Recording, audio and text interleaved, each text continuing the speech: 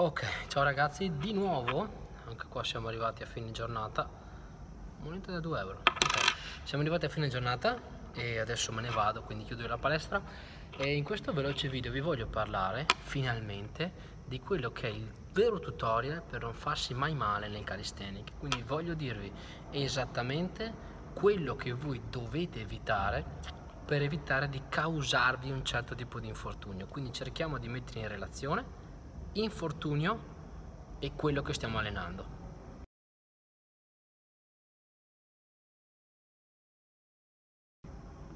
Ricordatevi sempre che il fatto di far insorgere qualche problematica può essere dovuto a dei limiti di mobilità articolare, quindi eh, semplicemente abbiamo un'articolazione che lì non va, noi spingiamo, spingiamo, spingiamo e a un certo punto inizia a formare da qualche parte. Oppure magari c'è l'articolarità, ma eh, i nostri tessuti non sono sufficientemente preparati per gestire un certo tipo di carico. Oppure, ultimo caso, non siamo abituati a gestire un certo tipo di intensità, di frequenza, di volume e sussiste un sovraccarico funzionale che poi può evolvere per esempio in una tendinite o in una tendinosi.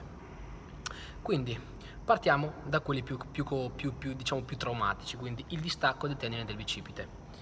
Se sei un principiante non allenare back lever. Se sei un principiante, non allenare l'efesto. Quindi ecco, queste due skill, come anche per esempio la plancia supina, tutti i lavori in supina o a braccia tese in supina, tendono a produrre uh, un elevato stress a livello del bicipite e si rischia di farsi male. Fastidi al capo lungo del bicipite, quindi qua sopra. Back lever, dip con scarsa mobilità delle spalle, planche, quando non si è abbastanza preparati, possono causare problemi capolungo del bicipite, quindi a livello prossimale. Andiamo avanti. Fastidi allo sterno. Se sei principiante, io eviterei inizialmente di metterci a fare le dip zavorrate, ok? Perché i tessuti hanno bisogno di adattarsi. Altra cosa che può causare problemi allo sterno è il lavoro agli anelli in appoggio, quindi per esempio tutti i lavori di appoggio agli anelli, up agli anelli, possono causare fastidi allo sterno. Il muscle up, soprattutto se viene eseguito in modo esplosivo dinamico, arrivando sopra la sbarra e assorbendo il carico in caduta prima di fare la dip. Problemi allo sterno. Problemi per esempio di pitrocleite, quindi se sei un principiante non allenare la trazione un braccio. Se sei un principiante non voler imparare il muscle up con le trazioni esplosive, perché stai facendo la più grande cagata della tua vita. E se ti viene l'epitrocleite non te ne liberi più. Sindrome del brachio radiale, quindi qua davanti, andiamo, mosca maledetta. Se sei un principiante, non allenare le trazioni a un braccio eccessivamente.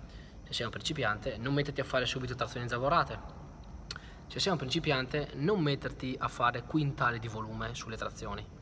Se sei un principiante, non pensare a dover imparare il muscle up facendo le trazioni esplosive, perché sono esattamente quelle che ti andranno a massacrare la parte dell'epicondilo laterale, in particolare il brachio radiale.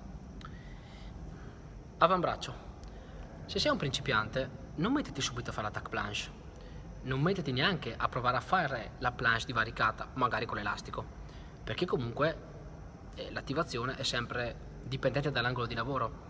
Se quell'angolo è stressante, puoi tranquillamente metterti anche il loop band, quell'angolo rimane stressante.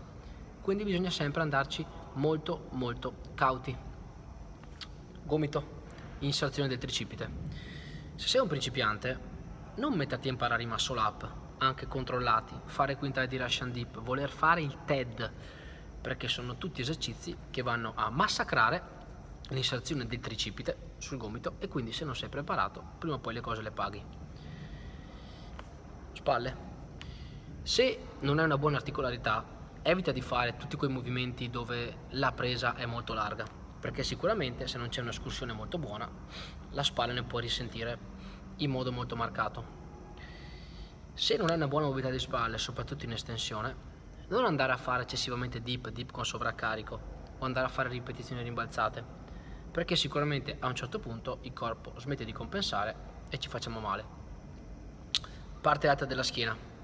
Se non c'è una buona dose di forza in tutti i muscoli fissatori della scapola, principalmente quindi i romboidi, il trapezio e via dicendo, il rischio di approcciare prematuramente lavori come tac front lever, front lever divaricato e tutti gli annessi può arrivare a produrre fastidi parecchio importanti nella parte centrale della schiena, quindi se ti stanno capitando sai che probabilmente è dovuto a quello. Polsi.